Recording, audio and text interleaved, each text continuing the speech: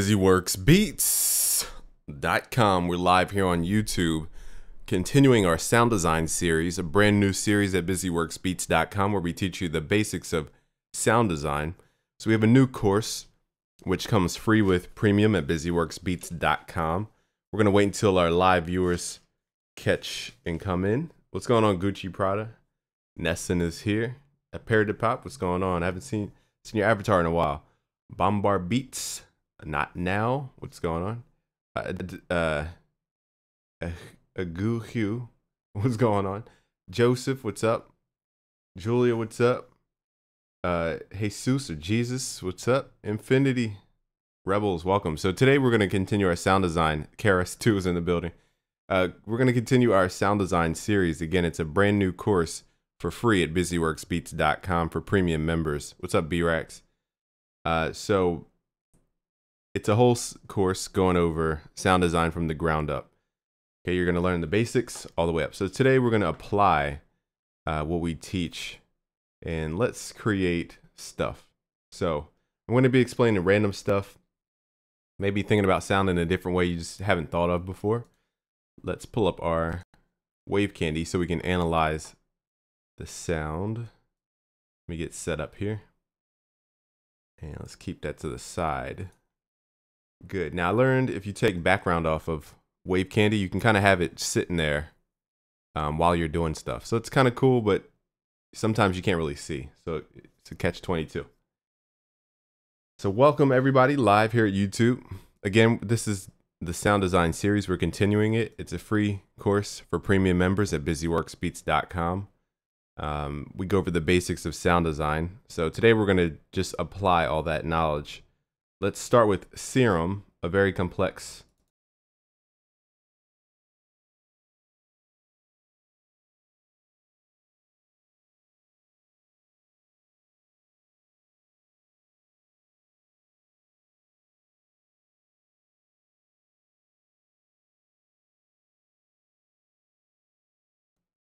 Okay, I don't know why Serum took that long to open. Usually it doesn't.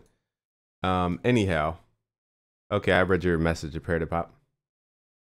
Okay, so firstly, let's think of Serum as, if you left click here, you can see wavetables. So the advantage Serum has is the wavetable thought process. So this, this is a way to think about stuff. So if we switch it to, let's say, a digital waveform, and we click on the screen, you can see it can transform between these things. Now, there were plugins which could do this, like um, UHE Zebra 2 plugin could do this. Um, so there were plugins that could do this, but it's people didn't understand it.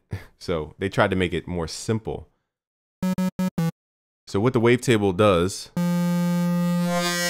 you can cycle through for different levels of harmonic content. So the more you start thinking about your sound as harmonic content, the easier it is to really delve into the higher levels of sound design instead of just waveforms.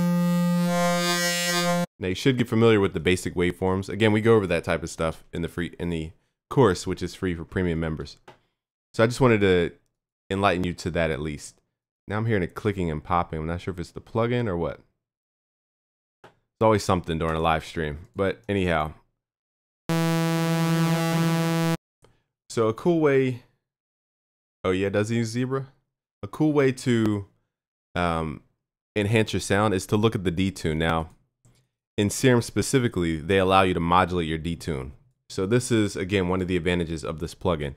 So let's do this. This is for more brassy things. So think of it as this smoothness and then the sharpness of this is two separate events. And we can kind of blur those together. Okay, so let's use that. Let's detune and then come back to some kind of unison sound over time. Now this works great with a lot of different voices, like eight voices. So we're gonna start at a high detune value. We're gonna use envelope two, pull back our sustain so it's only decaying, meaning it's just gonna go one direction. And let's left click and drag envelope over top detune. Now we need to give it a minimum value. So we're just moving the knob. So it's gonna start here and go to that point. And that's how we get a brassy beginning. So you need to start thinking about when you have these options in sound design, how can you just like we're thinking about the wavetable, how can you take one sound and make it transform into another sound? using envelopes and different things. Trap Tendo, you want some Trap Tendo? Well, we might sound design some game-like sounds today. So that's a cool brass. Now, Trap Tendo came from DJ Ab McCree, by the way, if you're not familiar. So now we're going from super detuned back to a, a normalized detune. I'm not sure what this clicking and popping is. No, it's not pre-recorded. Let's pull this down an octave. And now let's give the main sound some type of envelope. Little release. It's not a free plugin. Now we have a brassier tone. Now there's another way to make it sound brassier, and that's to add a low pass filter modulation. So I'm just showing you kind of how to achieve the brass tone in this specific instance. So we're going to use a low pass filter, give it a little resonance, and we're going to tell the cutoff filter to go wow. I know that sounds weird, but we're going to have it go from down, open to down. So we need to give it an envelope of some sort, or you can give it an LFO. In Serum, you can use LFOs as envelopes. There's a way to get Serum for some pricing plan. So there are options out there. Um, but this is a very versatile, what's going on solo? This is a very versatile um, plugin. Now in our course, we teach on Sylenth 1. It's just easier to teach on that plugin um, in the sound design course 101 at busyworksbeats.com. We go over all the basics so you can get started in sound design. And I break it down super easily for you. So let's use envelope 2 and give it a, or excuse me, envelope 3. Let's give it a small attack so it's going to go up and then a small decay so it comes back down. So we're telling the cutoff knob to go up and down over some amount of time. Now in Serum, you have a bidirectional motion. In short, we're just going to left click on this blue knob and pull it down. So we set the max value. Now it's a little slow, so let's pull our decay back. Now we don't want our attack to be so evident. So it's going to create this whipping sound. And that's where we get the, the brassy tone from.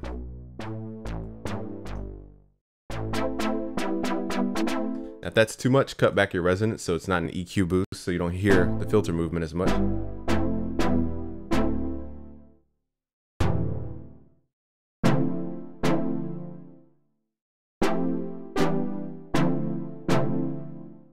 So if it's too much whipping, again, work with your ADSR here. Massive or Serum. Serum probably has more of what you're looking for at this specific point. Massive is a good tool, but it's not as visual, which can hinder the way you think about sound design. You might, you might not know what you're doing because it's not as visual. That doesn't mean it doesn't come with good sounds. Again, I'm not sure where this clicking and popping is coming from. I try I think I tried to update this serum but I'm not sure if the update worked or whatever. So you, I'm hearing clicks and pops, but I'm not going to stop the stream over it. If anything, I'll switch the synth out. That's pretty annoying. Um, so anyway, that's how you need to start thinking about sound. Now let's try moving the wavetable position to add a little more motion to the sound. So let's go to envelope 2 and drag it atop our wavetable position. We need to select our starting point, which is going to be to the right. Wherever this knob is pointing, that's the end point. So if you ever get lost, like where's my sound starting? Wherever it's pointing is the end point or the final point. And then wherever the blue line is traveling, that's the starting point. So most wavetables go from back to front by default. We want to flip this. You just left click and drag it to the opposite direction. So it starts at sample one and then goes to sample whatever. Notice the number here is keeping track of the sample. So if I left click it and move it, we can stop at a very specific sample out of the wavetable. A wavetable is just a sample broken down into individual samples. So if I, you know, clap my hands, we can break that up into however many uh, snapshots of a clap and then choose the sample in each. So that's where it comes from.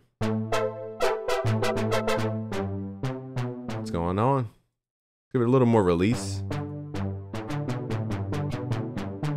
So that's kind of the way to think. It's a thought process. Now, if you want to thicken up things, think about using octaves.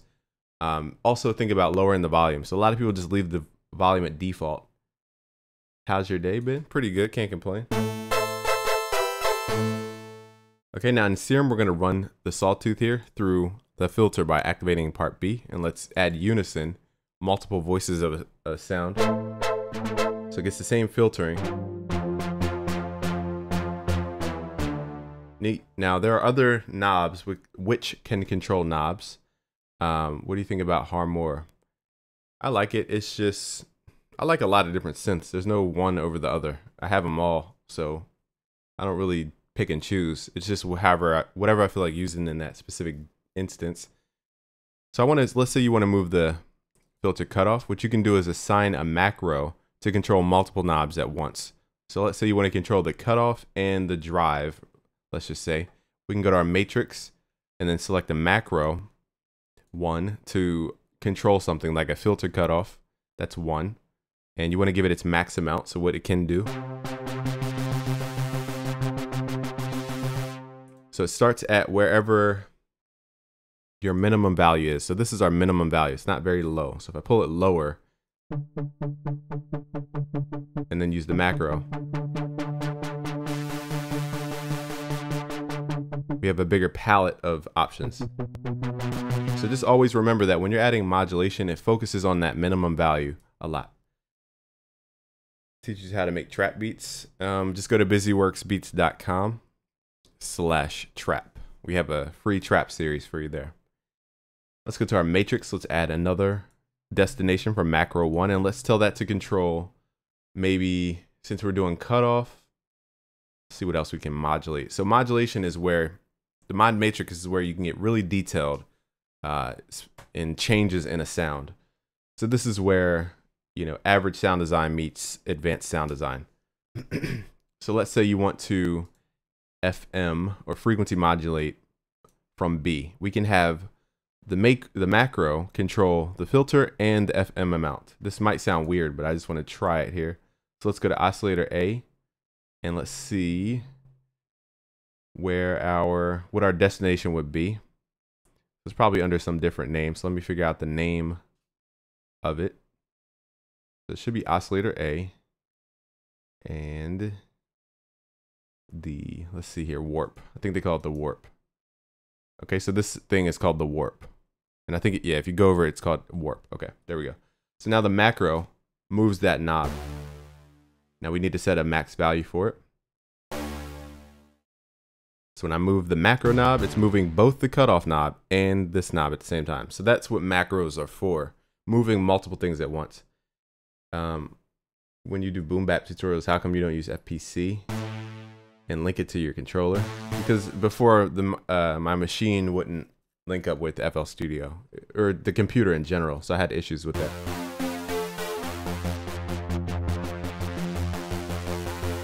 We're just going over sound design techniques and options you have. Now instead of FM, which is very aggressive, let's use RM, ring modulation just to add a texture to the sound. So as I pull this up, it's opening the cutoff filter and adding aggression to the sound.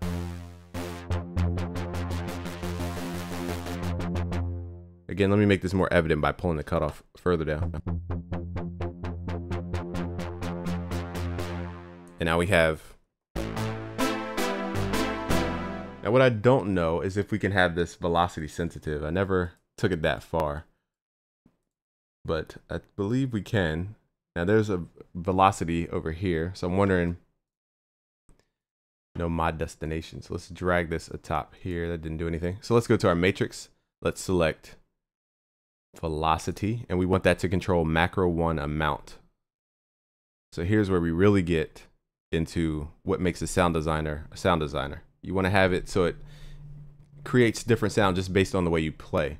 I'm not sure if we can control the macro amount. That might not be an option, but that would be ideal.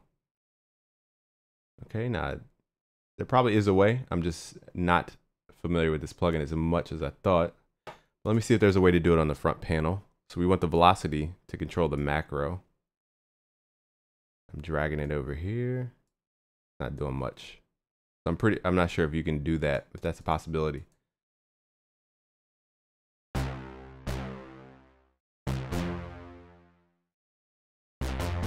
whatever.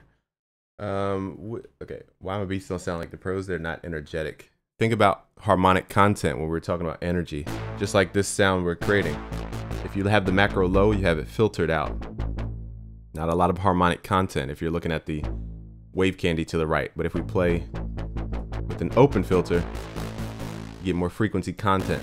And that's what energy is. That filled up sound is really about how much harmonic content you have. So just focus on harmonic content. Future bass wobble. Okay. That's we can go over some sounds, some wobble sounds. Thank you. All right, so let's move to a different sound. So that's I just wanted to introduce a different way of thinking to you when it comes to sound design. Let's see if it's, if Serum was the reason why it's clicking. It's probably something else. Okay, now let's focus on metallic wobble. So let's go to Serum. The metallic sound is has two sources. It's either um, now again before we get into this, we have a new sound design course for beginners at busyworksbeats.com for premium members only. And it goes over all the fundamentals of sound design from sound shapes to filtering to everything you need to know about what you're going to see in a synth so that it doesn't matter which synth you use, you can apply the teaching and learn and use the synth no matter what it is. So that's our new course for premium members. It's free at busyworksbeats.com. So now let's look into that metallic sound. What else is the chat for if not for asking questions each other? But again, it's not really a Q&A either. Um, I'm kind of keeping tabs on what you're asking. Um, anyhow, massive. I like massive, but again, it's not visual. So that's my only problem with it. It's not as visual as I would like it to be. Please teach sound design with vocal samples. Okay, so let's, Serum allows you to do a lot. So let's kind of do piece by piece. We don't want to delve too far into sound design. Um, but what was I getting into? Oh, the wobble. Okay, so let's just talk about the metallic sound quickly. The metallic sound deals with wavetables. So when you're talking about vocal samples and things, what you can do is import samples into Serum or Harmor, whatever the plugin is that allows you to import wavetables. So you can go to your packs, for example, you can go to vocals, and you can drag this atop Serum, select an import style, and it's going to map out the wavetable. Now, for some reason, sometimes it works, sometimes it doesn't. For me, in Serum. Let's try this again. Again, we don't know why it works. I think the sample might be too long. So let's shorten it out.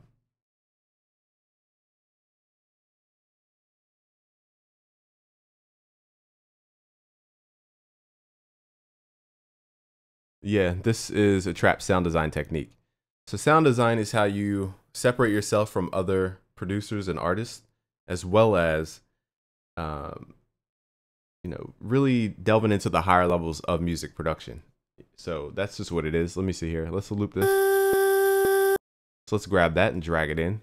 So again, I think Serum requires smaller samples. That was that one was a little too long, I believe because now it imports. See, so sometimes it imports, sometimes it doesn't. So shorten your samples if it doesn't.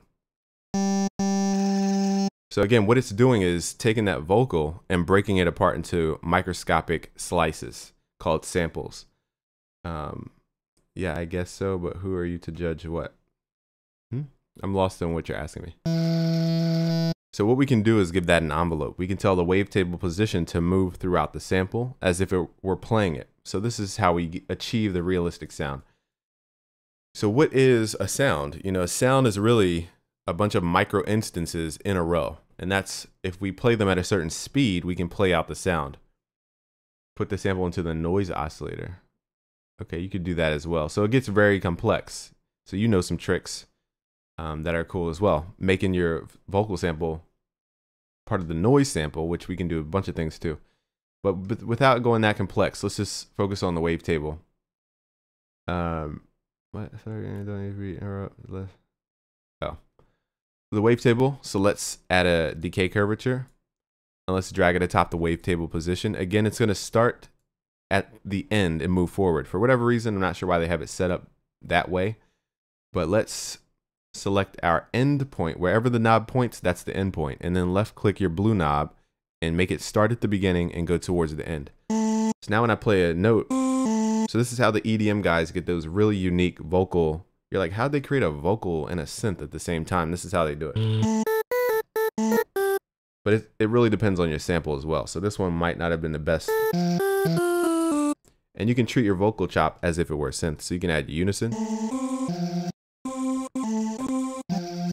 And then you can add a synth underneath that to thicken it up. So you can add a sub part here.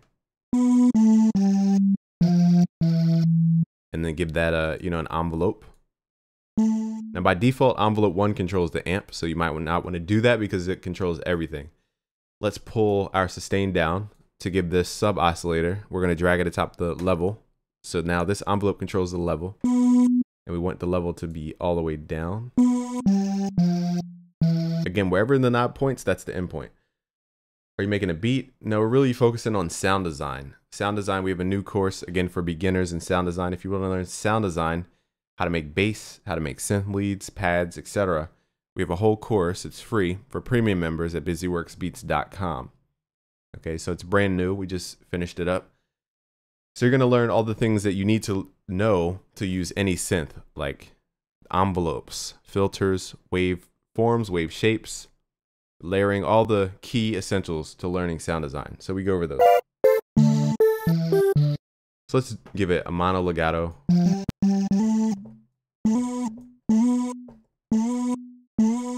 Now I don't want it to finish out the sample. I want it to kind of stop at a sample instead of going all the way to the end where it was silent. And that's how we get those. Those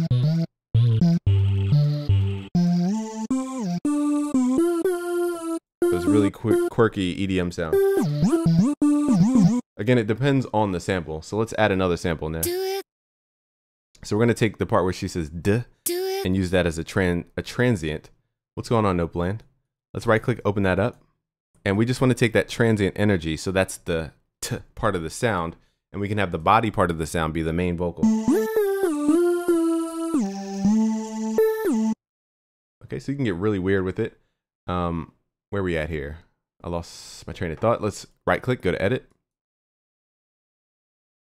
One day I'll have a video about the studio. It's just so much I think I tried to make a studio video before and I was breaking down every piece of the studio and it just became a really long drawn out video because there's so much about every little thing. So we'll try to make a newer edition of the studio video. Whoa. So we just want that little D part. Um, let's drag that into Serum. Let's drag it back into the sampler first and let's turn on oscillator B and then drag it atop Serum and let's go to dynamic pitch follow so now we're going to left click on it. Now this one is very short, so we only have two wavetables, but it doesn't really matter because we we are only going to use it for the transient energy of it. So let's go to LFO1 and use this as an envelope. So turn on envelope mode. to LFO1 to control the level, so it controls the amplitude. And again, wherever it points, that's the end value. Okay, so we're going to tell it to be at max value to go to the end value over this amount of LFO time. So if I turn off oscillator B, I mean A, this is the transient of the sound. And again, we could treat it as if it's a synth, detuning it, adding, you know, FM to it to spark, you know, light it up a little bit more.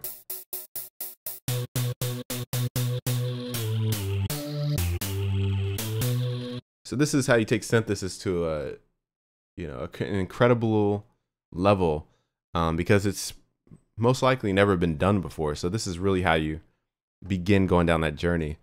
Now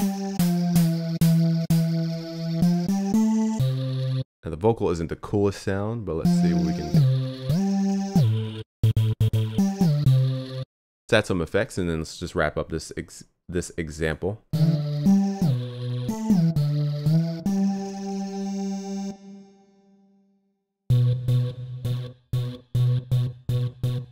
Give it a a slap reverb.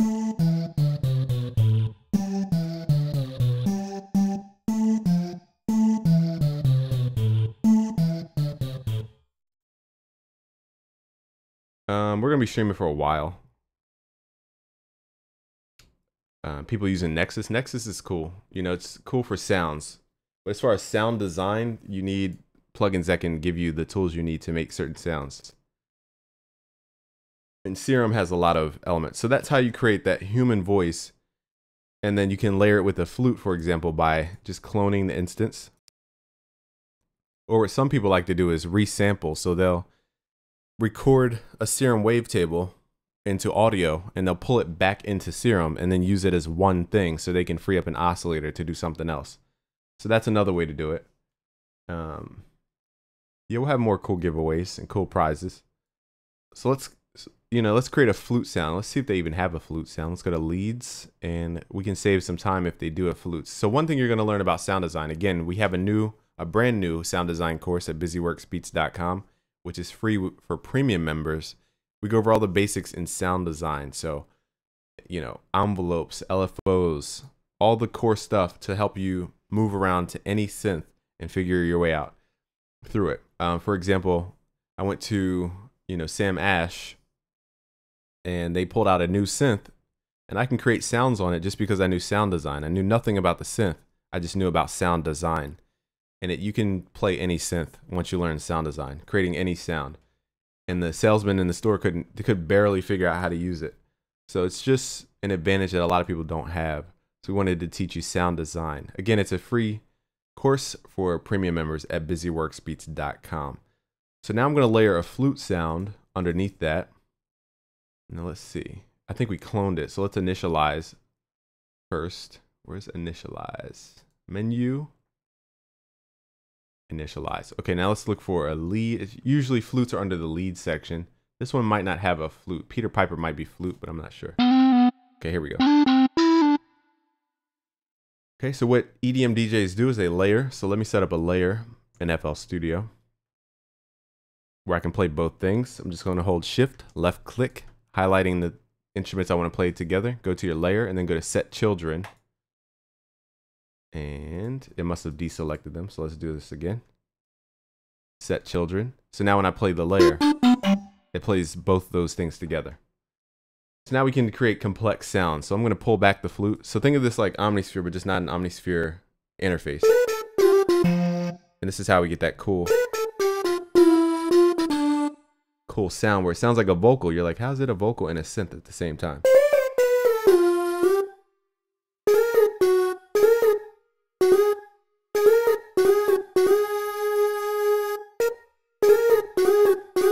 Now I think one of these needs a legato.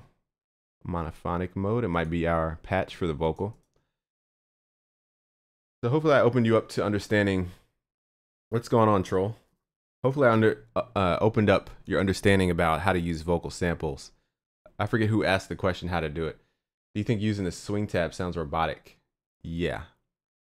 Definitely playing by hand can give you a more elaborate groove. Um, Yes, I do believe that. You can get a much more unique groove by playing stuff by hand. I should pull out my Maschine controller. It's in a closet. We might do that later. We announced the winners, Harry Kesh. I forgot to put the video live on YouTube. I mean, uh, published on YouTube. Um, we did a live giveaway, September 1st it was. And the names are, so if you go to this link, you'll see who won. It was Casillas and somebody else won. Shama. They won the uh, sweepstakes there.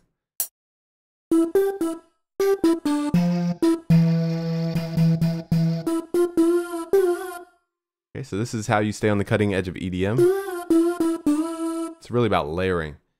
So hopefully I just, you know, broaden your awareness there. Um, what other sounds, what sounds do you want to create? Let's, let's focus on you right now. What type of sounds? Give me a genre or some type of. Don't do artist because it's very broad. And if you do song, if I don't know the song, then I'm definitely not going to know. Sylenth 1. Okay, we can go in Sylenth 1. So again, our new sound design course for premium members, um, we use Sylenth 1 to teach because it's a lot easier to comprehend. Reggae, there isn't really much to sound design in reggae except the guitar and maybe some of the drum sounds. Oh, future bass. Yeah, that's right. We're supposed to do a metallic future bass. Let's start with future bass first. So future bass is a very broad, broad, broad genre. Again, there's no one specific sound, but I want to show you how to get a metallic sound. I think I started, but then kind of stopped explaining that. And I clicked on the wrong plugin. Let's go to Serum again. How to create a flute sound. All right, so all right. Uh, thank you for your suggestions. Let's let's start off with future bass, and then I'll ask you again what you want to learn from that point, so that we can keep fresh in the in the chat. So the metallic sound comes from two different things. I mentioned this before. It comes from the wavetable modulation that we created using the wavetable position knob. Just moving that up and down. You could just assign an LFO to the wavetable position and set your synchronization. Okay, so that's, you know, the easiest way to go about that metallic sound. It's really also based on your wavetable. So let's pick different wavetable.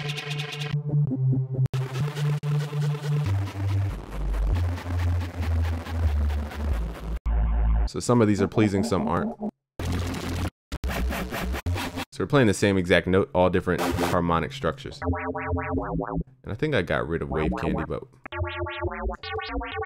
So you're going to find the more metallic stuff under Spectral and under, you know, stuff like Monster, for example. That's how you get that weird sound. Let's go to triplets.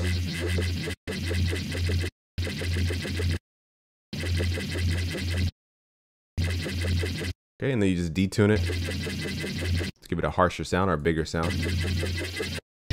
That's the quickest way to kind of go about it. Um, there's another way to get the metallic sound, which is to use FM. So this is a little more complicated. Um, let's see. What's going on EDM music?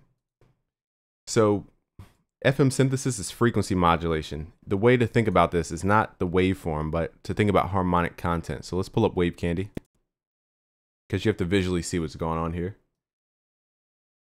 Okay, so let's have that to the side. And let's say, let's go to basic shapes. And again, click on the window to select different shapes. Let's select the sine wave. And let's go to oscillator B, basic shapes, and go to sine wave. So we're gonna have a sine wave modulating a sine wave. So by default, a sine wave is just a single a singular line. Okay. And what we want to do is turn on oscillator B, but turn off the volume. So it's still there, but it can do stuff, but it's just not audible. So we're going to turn off the volume and then go here to our warp section and tell it to do FM from B. That means this waveform is going to modulate this waveform.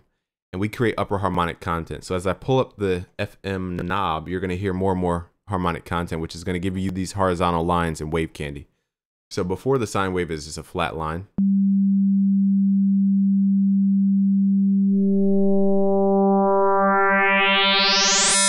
So that's what FM is. It's about creating those harmonic stacks. And this is how we also get that metallic sound.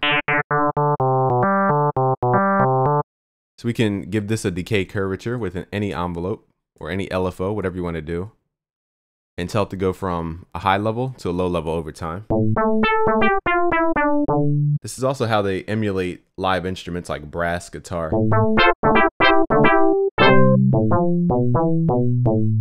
Okay, but let's show you how to get the metallic sound. The metallic sound is achieved when you have a very, very high frequency modulating something at a lower frequency. So we're going to tell this oscillator B to be a very high octave. So it's a very high frequency. And we're modulating this sine wave faster and faster. And it gives you more and more harmonic content. So now we're going to get the metallic bell, is you know, that bell style sound. So this is how they create those weird tweaking sounds on their bass. Okay, and you can just experiment with your semitone.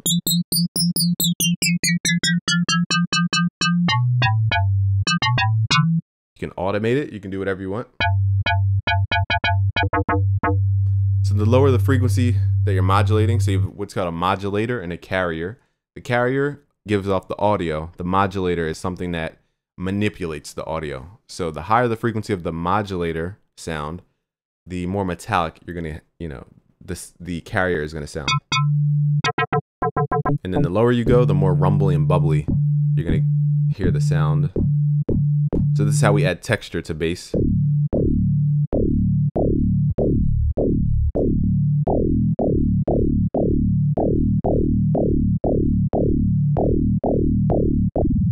The slower you go, it becomes more like an LFO because it's so slow. It's modulating the sound so slow, it becomes a low frequency oscillator.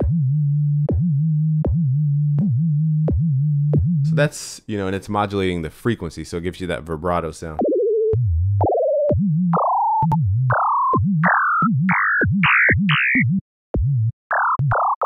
So that's how you get into those weird kind of EDM sounds. Now it's a combination of FM and wavetable. So that's where they get into really experimental grounds. So that's why I say, you know, start with, you know, the dis- like they sample distorted guitars for some wavetables in Serum. You want to start there and then work your way through. Let's give this a very high frequency. So here's the distorted sound we're talking about. Then you can add filtering like comb filters to really make that your own. And that's where those newer genres of bass are coming from. You know, and they're layered with sub either sub oscillators or just or just a whole different sound in general.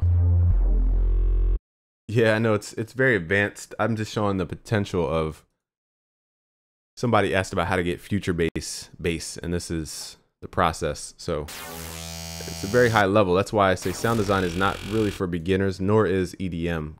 There's so much sound design involved. This filter, I don't even know where it's not doing much.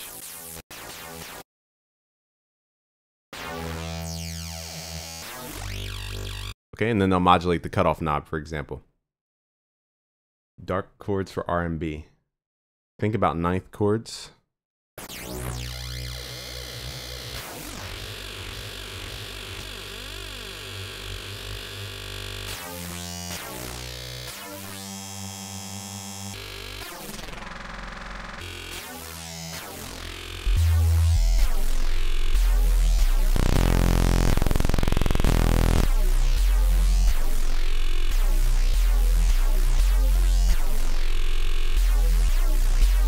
That's how you get into that weird, that whole other side of the world, which is called EDM. Um, yeah, even hard styles kind of going down an exotic route. But I just, I know that's very, very complicated. And when you get to that level of sound design, it's so much experimentation. There's no one set way to do anything. So there's no like playbook. Okay, do this, do this, do this, do this, do this to get this. You know, it's kind of, you have to figure it out. It's more random and it will become experimentation at that level. So just be prepared for that.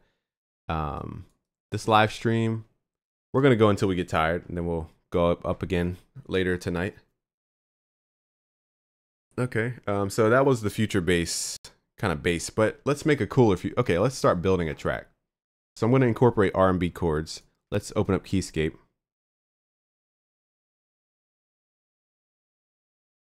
Okay. Yeah, I don't want to stick to hip hop. Hip hop it's so stale right now. It's so boring. Um, there's like nothing new. Drake kind of stopped making music, and the industry doesn't know what to do. And it's very boring in hip hop. It's the same thing over and over. And trust me, teaching the same thing over and over gets monotonous. It's not a good thing.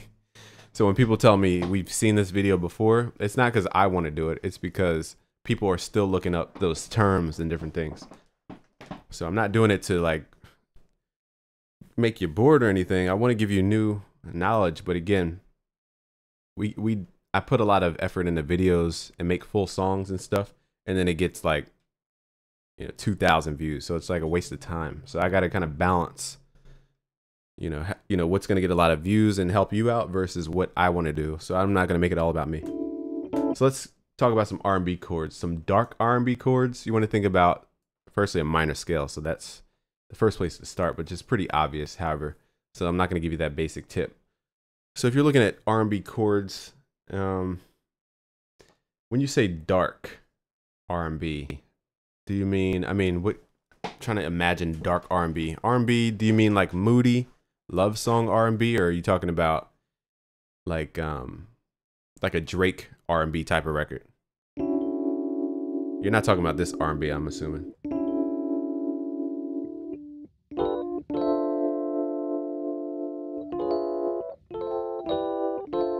That's too bright for you. So, oh, Nav. Okay, so Nav, it's really about the sound. So let me show you something that Drake started and made popular. Let's go to Sylenth1. And this is the new updated Sylenth. It took me forever to get it. I think it was probably out for however long. The Weeknd style. Okay, so let's start with, um, let's clear it out. So a lot of those tracks are very minimalistic. It might have like a Moog bass and then, you know, a couple instruments in the background. So minimalistic. It really, that's what creates the dark feel. But let's go over one specific sound design technique you can use, which we show you in the sound design course for premium members at busyworksbeats.com. It's all new course, Sound Design 101 for beginners. We're going to start with a multi-voice sine wave, and then we're going to detune that. Let's turn our polyphony up so we can play multiple notes at once. So this kind of buttery sound, but we're not done yet. Let's add a low pass filter. And the key is to turn up your resonance. That's the key. If you want the Drake sound, you want to look at low pass filters with a, you know, a nice bit of resonance. It's going to give you like a hollowed out sound. But we're not done yet. Let me turn up the volume. The last thing you want to do is turn up what's called portamento. This is not monophonic mode. Portamento means it takes, uh, you know, if I turn up the speed, oh, I like Jacquees's music, by the way. if you turn up the portamento speed, it takes longer for one pitch to go to the next. That's what portamento is. So we can have it to where we can play polyphony or multiple notes at once and still pitch bend. So that's why I like to have my portamento up without mono activated. And that's how you get that dark Drake sound. But I'm going to open it up so you can hear it. It's kind of too dark for this. Let me turn this down too. I don't blow your ears out.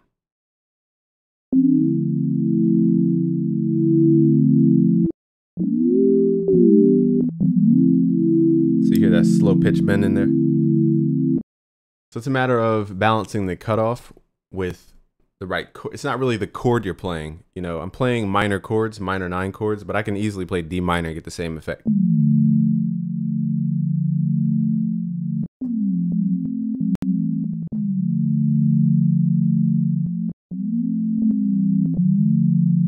That one's a little more melancholy.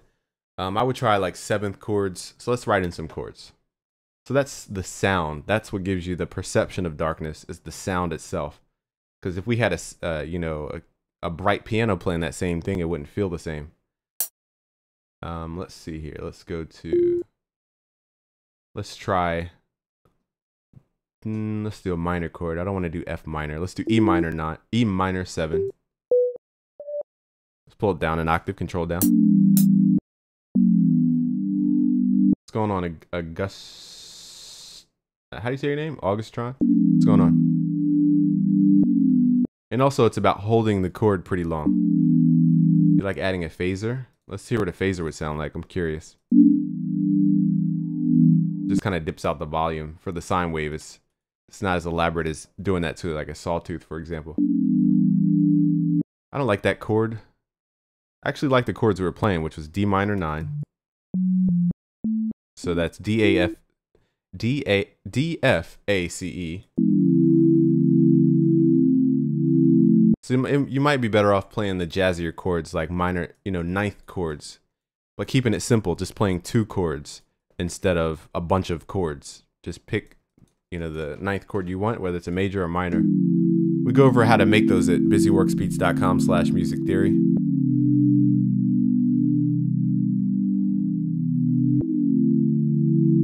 And then you just cycle between the two. I don't like that chord either. Let's do maybe major seven or major nine for F. Yeah, you could add panning as well. I'm just to play the chords that I played, so I think it's to sound better because we played these before. And let's tap out the tempo. Um, so we're at 90 BPM somewhere. Let's record.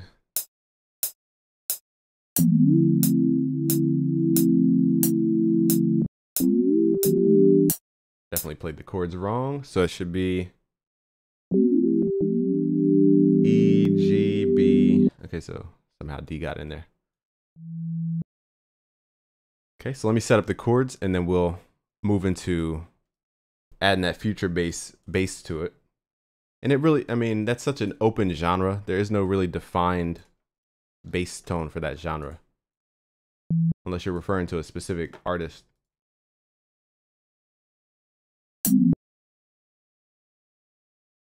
It is sad. So another, you know, thing they do is use the Moog sound, and they build up the bass sound. So let's, hmm, trying to think what plugin. Let's go to SAR. Just gonna give you an, an idea of what they do. So let's hit Control C, copy the chord progression, paste it into the SAR. We're gonna take all the bottom notes, get rid of the top notes. And what they do is, let me quantize this and fix it up. What they do is they make their low pass filter open up over time. Shout out to you, um, Rough and Ready. Appreciate that. So let's add this bass line underneath our chords. I want to show you what I'm talking about. Okay, so let's switch this back to default in SAR. So what we want to do is add a low pass filter, but then have it open up over time. Like this. But we want it to reset every time we hit a new note. So that's what they do for these kind of dark R&B vibes. They let the bass evolve, but then it resets. So I'm setting my, I'm not going to get into everything about the sound right now, but I'm setting the max amount for the cutoff with the amplitude knob here. I'm telling it to swell with the attack time. And so it's swelling up to the max amount from the minimum amount. Remember, the minimum amount is wherever the knob is pointing. So I'm going to give it a longer attack. So let's solo the sound so you can hear it.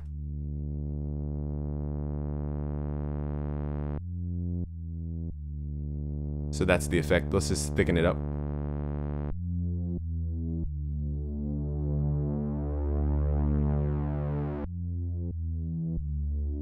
You can add resonance if you want to hear the movement a little bit more.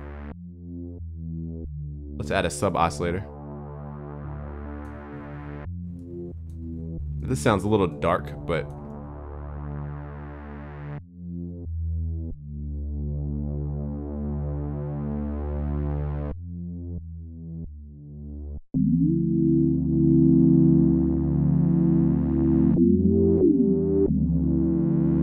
know, it's probably we're holding the note way too long. So I would probably have it shorter.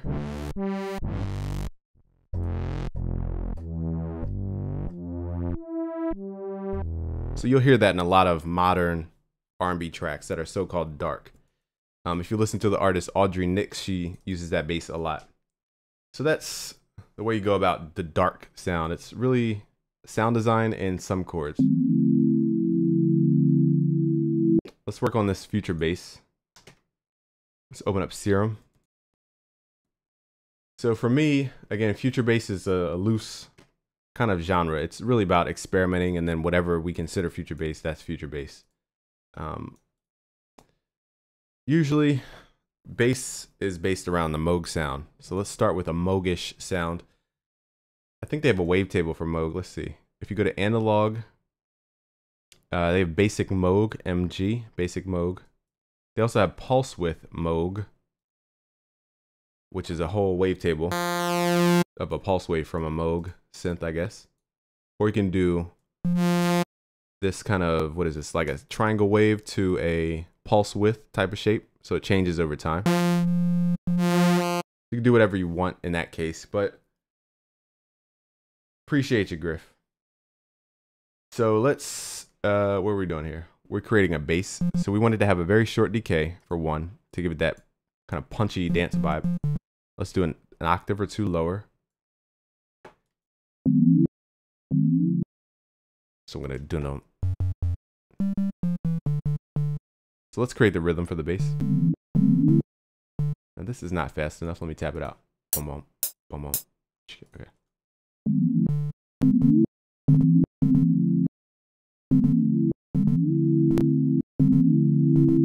We're gonna fix the bass in a second. So I wanna go bum bum bum bum. But I don't know.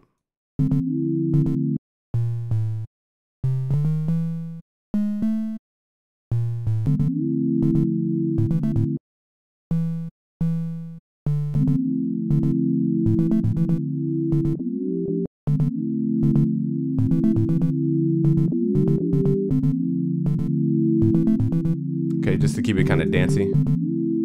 Okay, let's turn this up a little bit. We need it a little more round. So when you're using triangle waves and salty, it's very bright, as you can hear. Gives you a lot of high frequency information. Let's add a low pass filter.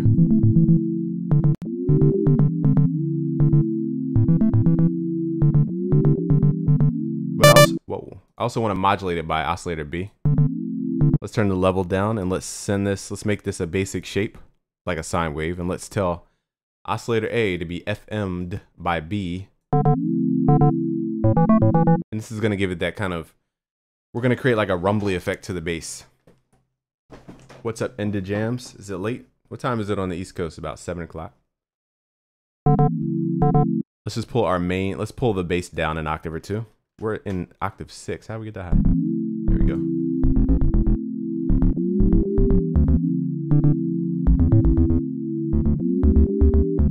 Sankis with the moderator status. Let's pull the wavetable to something else. But again, it's very bright. So you want to generally start on a, a, more rounded sound wave like a sine. This is more of a triangle. So you're getting that buzzy sound. And to give it thickness, you want to add detune. If you go to global, you can set the width of your D, your uh, stereo width of your detune. Let's just pull that in to make the bass more tight.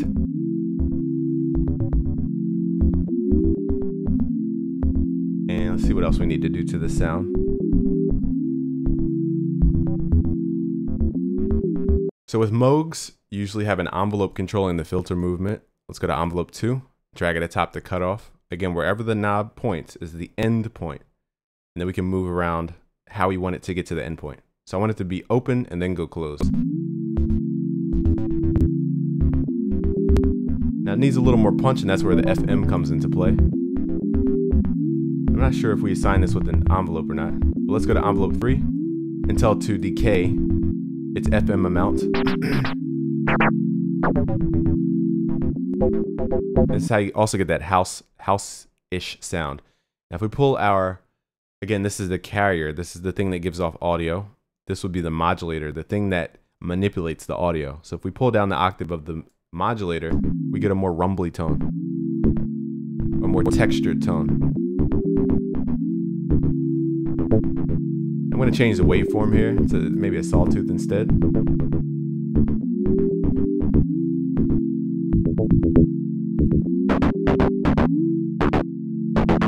That's too dirty. I'm not sure where the dirt came from in this sound.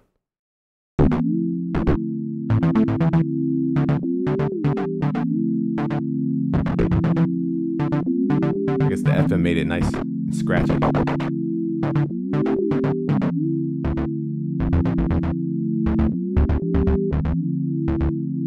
Let's add a sub oscillator just to add thickness to the sound. Whenever you need thickness to your bass, just add a sine wave. It's the most pure kind of boomy sound wave you can get. And you can see the bass filled up immediately after we added that sine wave. Let's a little time shift.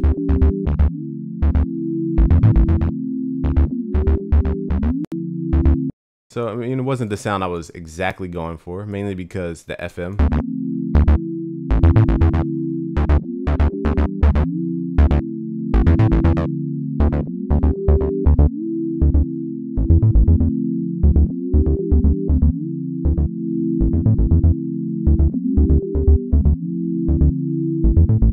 So that's how you make it more modern.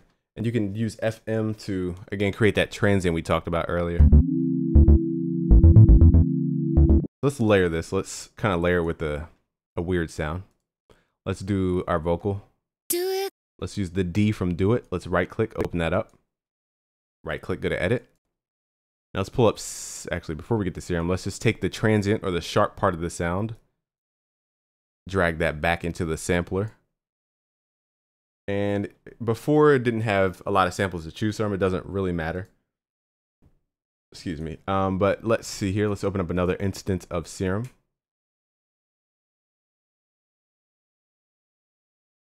If you compete with somebody who makes beats and your viewer, a beat battle on YouTube, that'd be kind of different. The thing about beats is that it takes a long time to make them. So people are just sitting there watching you make a beat. You know, it's not as hype as like a DJ battle where stuff's already made. Um, if you want to reach me, go to busyworksbeats.com slash support. We get a lot of messages, so I have a support team. Um, donation like PewDiePie. I don't like the whole live stream. You pay to watch me do stuff. It's kind of weird, in my opinion. So. so let's import that transient sound into Serum. Then I'll wrap up this kind of future bass tone. Wasn't the tone I was going for. I probably would start with more of a sine wave and then FM that by a sine wave. I think that would probably be what I was really going for. This detune is not what I was thinking it was gonna sound like. Let's try this.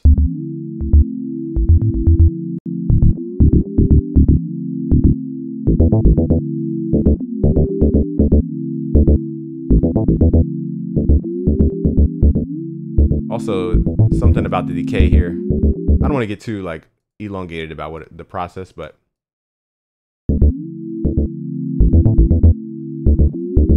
you know, it's kind of whatever. So let's just layer the sound. Let's drag the D into Serum. Let's open up Serum. And let's find our vocal sample. Where's it at? Now, if you can't see both windows, hit Alt and then left click. It'll pull up both screens. Sometimes they, they don't show you both screens.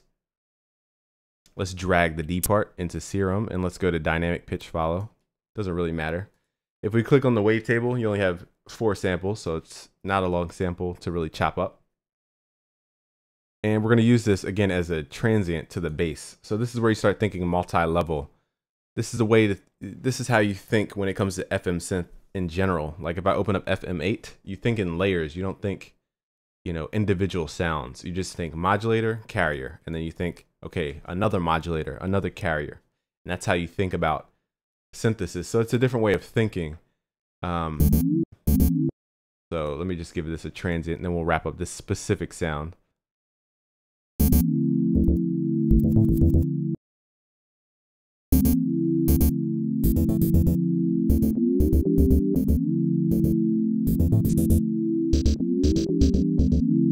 I mean, you know, we can go a thousand different ways. And now it has that kind of transient sound to it. Okay, so that's just the kind of thought process. It's not the sound I was going for, but that's the thought process. Let's look at FM synthesis for a second.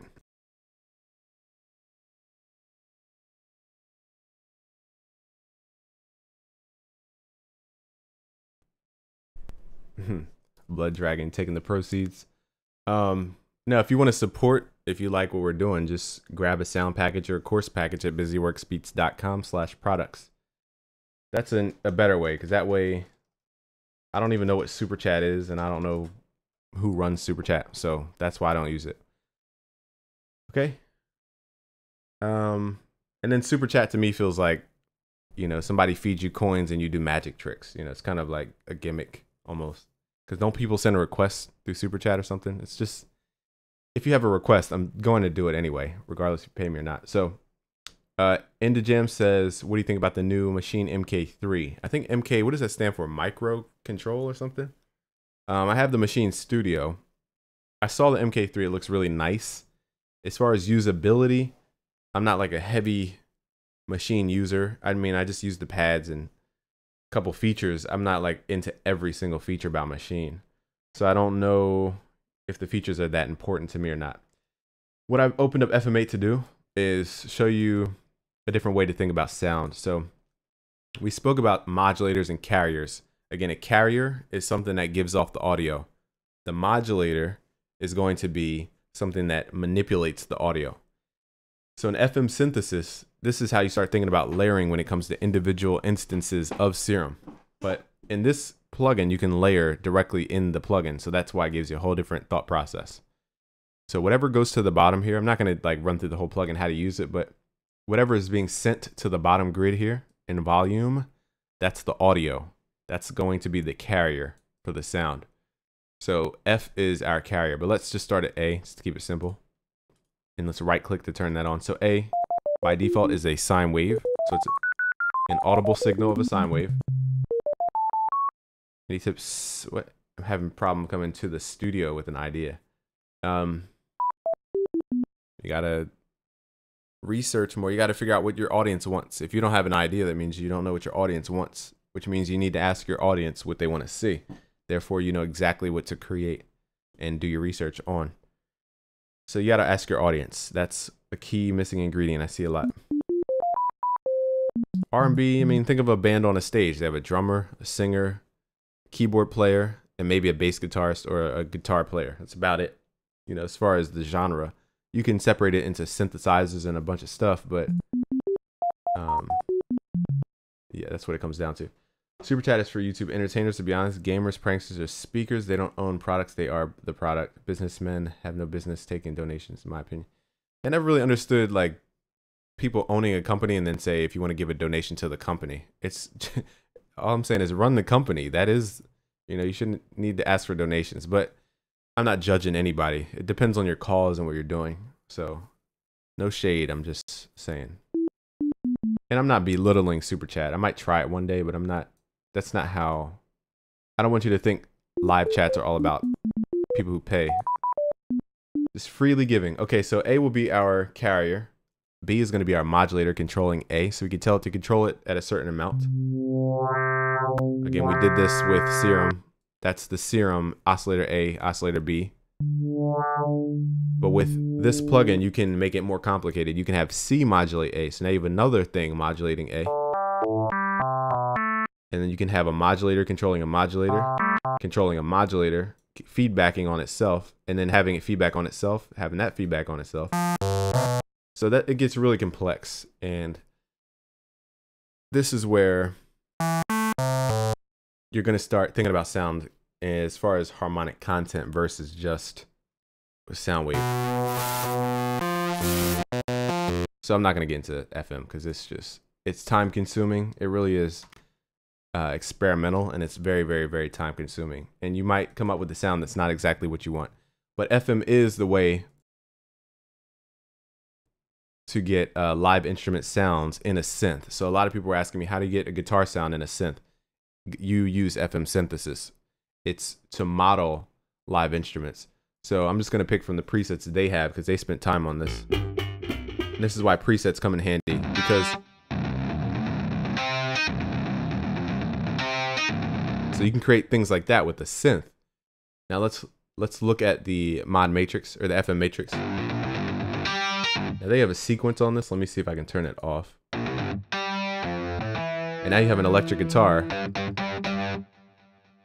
which is really, if you look at the waveforms, a sine wave, which is controlling a sine wave, controlling a sine wave, controlling a sine wave. Everything comes down to that sine wave. And that's why we call it the mother of all sound waves in our new sound design course for beginners at busyworksbeats.com for premium members. We just uh, created a new course. So this is how you get those real sounds in a synth. So I do love FM8. It's a lot easier to comprehend than Sytrus from Image Line, in my opinion. Um, what songwriter I can use? Which DAW you mean? Um, just pick them. There's a lot of demos. See what you feel feels better to you. Okay, so let's look at some other things they can emulate just to kind of wrap this up. They can emulate keys. It's great for e-piano. Those 80s e-pianos.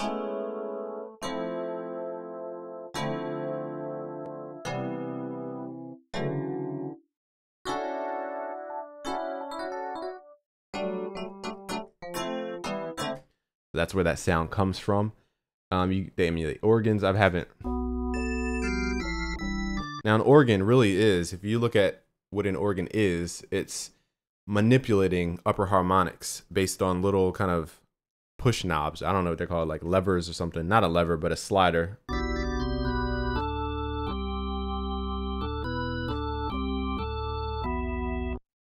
Okay, and it manipulates the harmonic content. So that's what an organ is.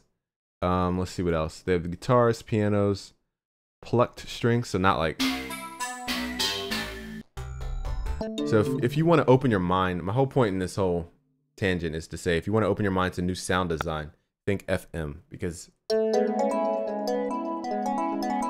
again, it's infinitely more complicated, but you have, you know, infinite sounds to create mouth sounds.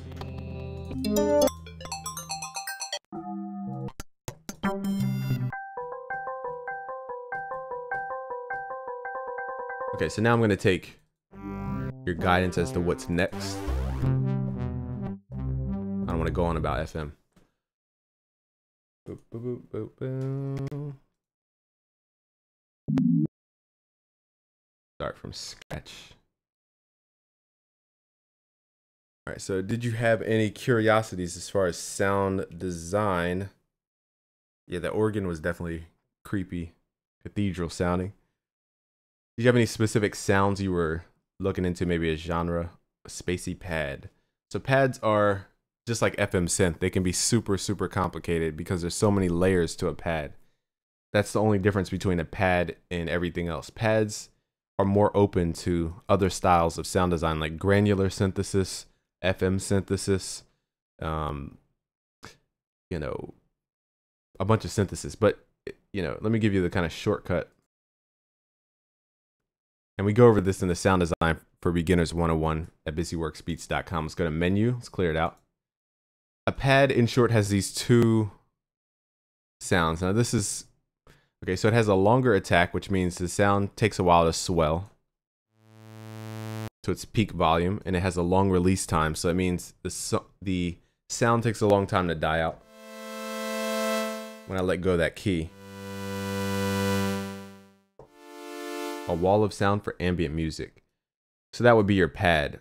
Also, it deals with effects as well. So when you're saying ambient, it's not really a, a synth sound that creates ambience. Ambience is really an effect. But I'll get into that in a second. So let's create a pad here. Again, pads are very, very, very, very, very, very, very complex. They can have a bunch of things going on. This synth is going to limit you as far as what you can do to a pad. But for example, I'm just going to quickly do this because it's a long process, but we can uh, modulate the cutoff over time, have that swell just like we had our um, attack swell. And also pads have a lot of voicings. So you're going to have eight voices usually in your pads. Because you, the whole point of a pad is to have a bunch of harmonic content that you can chisel out to do whatever you want. And now we have an instant pad. All we're doing is giving it a long attack and release and just multiple voices. And it sounds, and it has a low pass filter on it. So that's an easy pad to start out with.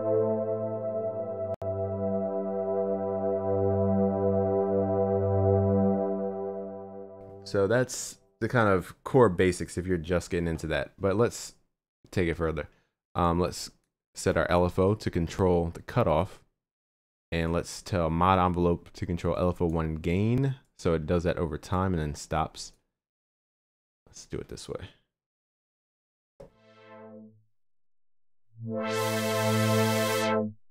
I don't want it to do it that harshly, so let's pull it back a bit.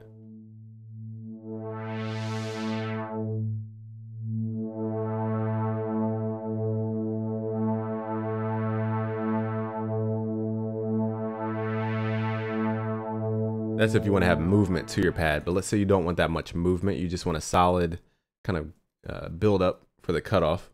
Again, wherever the knob points, that's your minimum value.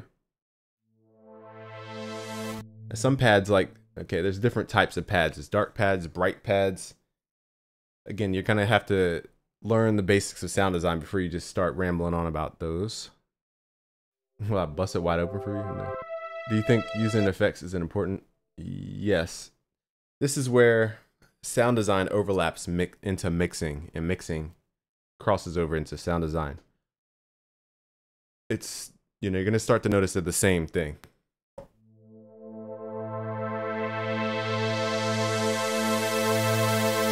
So let's make that ambient. What we're going to do is set the max amount for the cutoff so it doesn't go too high.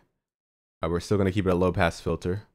And we are going to run that through some reverbs and delays as mentioned. So let's just do fruity delay three. A ping pong delay is very simple. It just means it's going to hit your left and your right ear.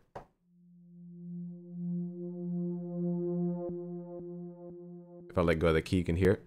Okay. And usually pads have a bunch of effects um, as far as the feedback levels and the wet level, meaning they have, okay, so on my vocal, let me demonstrate on my vocal here. Let's pull up a delay. I wouldn't use, I wouldn't use, I wouldn't I wouldn't I wouldn't this, this, this heavily, heavily, because it's just too much, too much. I would usually cut back, back the input level, so it's just tucked underneath my voice. But for pads, you want it to be exaggerated, so we would turn it back up. That's what I'm trying to illustrate. So let's create a chord in the background. Let's do G minor, nice and dark.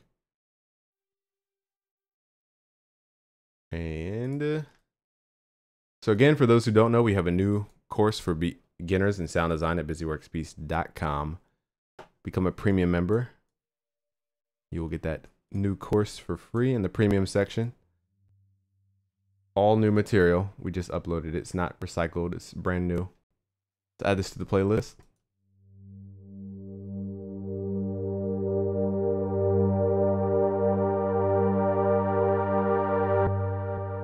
Let me stretch this out for a long, about 16 bars, so we don't have to keep repeating what we're doing. Let's drag this out. Okay. Now start adding that ambient effect to it. Now I'm going to add another sound to create the ambience, quote unquote ambience, because this is so big of a sound that it, it already sounds, there's you can't really hear the reverb from the sound, separated from the sound. We had the studio series, but I started realizing that there's so much to explain in the studio that it'll take like a week to really explain why I had every piece, when I got it, what it's for, what it can do. So I'll try to break down the studio video. I don't want to just show you stuff and be like, all right, that's it. But you know, at the same time, I want to break it down.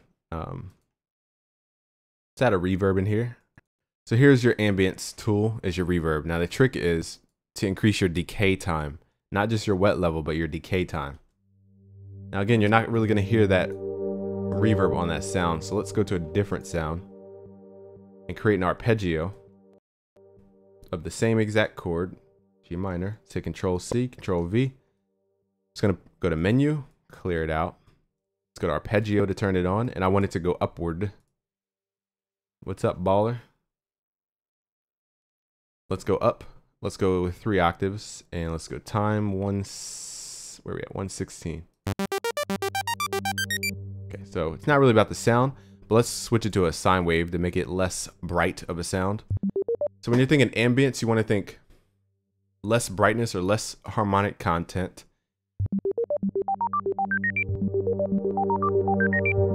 And you also want to think release tails to give you a natural kind of reverb sound.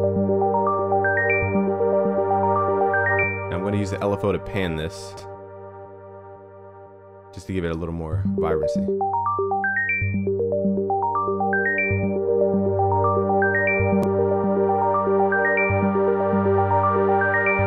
Let me turn off the pad for a second just to show you how to get the ambient, quote unquote, ambient sound. So ambience comes from fully wet reverb. So usually they'll put a reverb directly on a sound. It doesn't matter which reverb. Let's try, uh, where we at? Where's DreamVerb?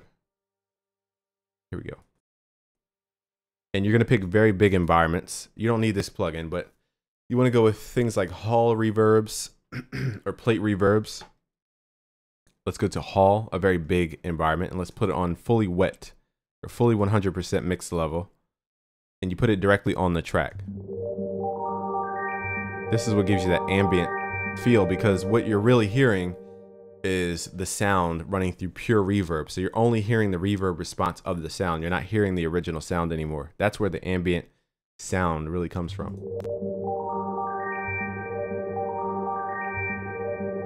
Let me see if I can extend the tail.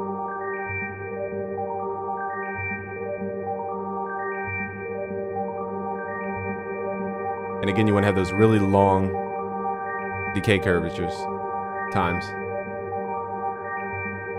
I don't even know how to use this thing.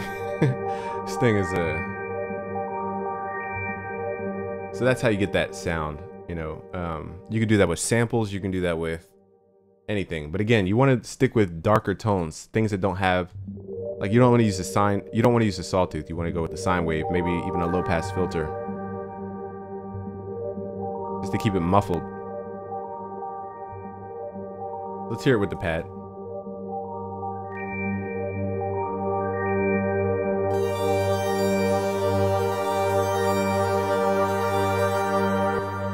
So I'm gonna assign the cutoff to tell it to open up the filter over time, over a long amount of time.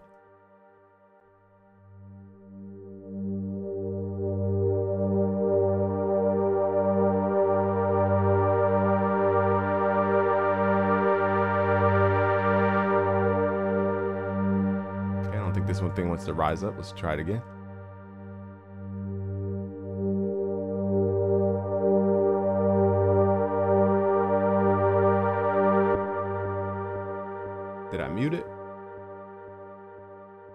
Some reason the ARP isn't triggered. Let me figure out why.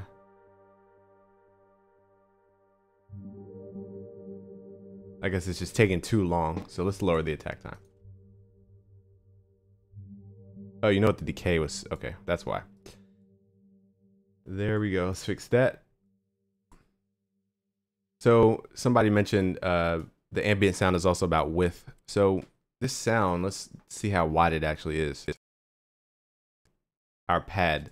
Sometimes you can't make it sound wider than what it already is. So I think by default, Sylenth1 allows it to have 100% stereo width, which is this knob here. So let's look at the width in iZotope of the pad. So you see, it's already wide. So there's really nothing else to do with it except add the reverb for depth and work on the harmonic content. And it looks like I gave it a... Where's our arpeggio? Figure this out.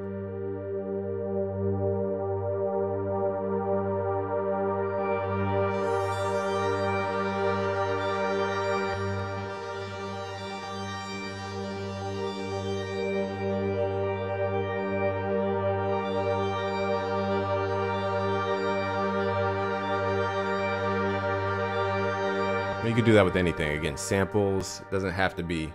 You could do her vocals. Let's try. Do it. This is add her vocals under track two. And then you have that kind of Clams Casino sound.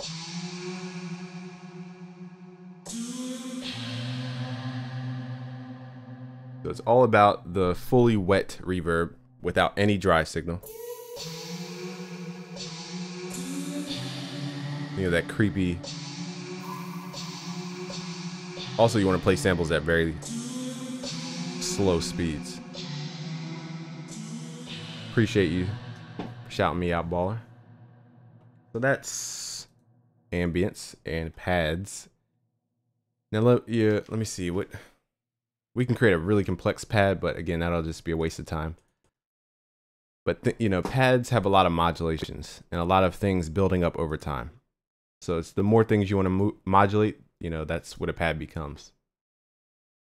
And then all the sound effects we've added as well. Let's drag this over here. So what else can I show you as far as sound design? Boom, boom. Convolver, yeah, Convolver is good. It it um takes responses from real environments and runs it through a reverb plugin. So it's good. You know, you can find impulse response samples online as well. So you can even find impulse responses online and import it into Fruity Convolver. So if, if they don't provide the spaces you want, you can grab them from offline. Uh, I'm not sure who Galimatius is or Galimatius, probably saying that wrong. So unfortunately, I'm not familiar. Try to synthesize the vocal. That'll take a while because look at my vocal in the spectrum. A E I O U. Look at how much phase and resonance movement there is. There's a lot to vocals, and it's very complex. Yeah, yeah. How do we get to 119 BPM?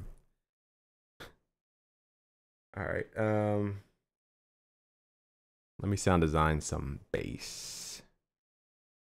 Let's go to Sylenth. Show you how to make. Got this thing on my mouth. Sorry. I'll show you how to make um, a kick drum. Okay. There's a lot of this is where mixing ties into sound design and they kind of play off each other. We're gonna start with the sine wave, very low octave to give you the boom. Then you want to give it a short decay curvature, tight a little release just so it fades out naturally.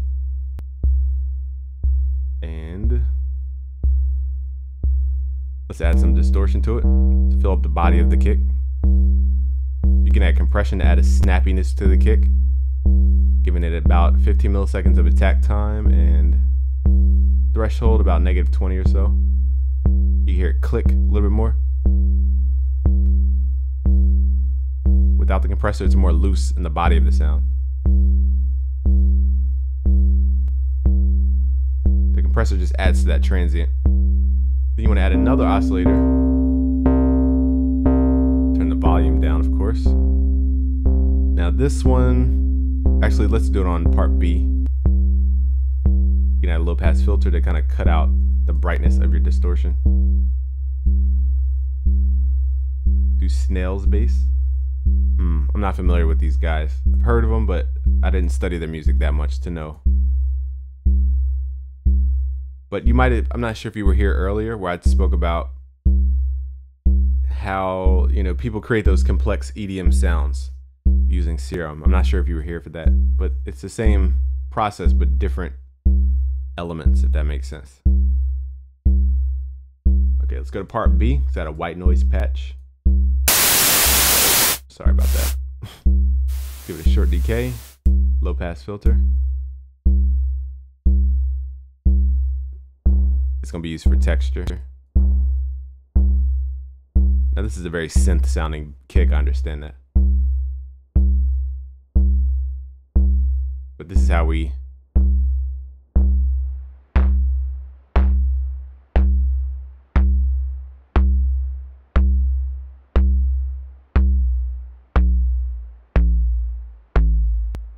when mix my stuff every wait when I mix my stuff, everything sounds great, but when I master it, everything starts to sound muddy. Mastering is going to pull out all the flaws we have in our mixing. And it's going to also cut back on your dynamic range. So it's going to make your stuff sound more flat and less enticing as well. So you got to be really careful. Appreciate your support, baller. So that's the kick. Something a little, you know, just wanted to give you a little quick sound you can create. And what we do is we take that and then we send it through some mixing plugins. So here's where mixing kind of overlaps into sound design. So we might add a decapitator for further saturation. Or an EQ for rebalancing of the curvature.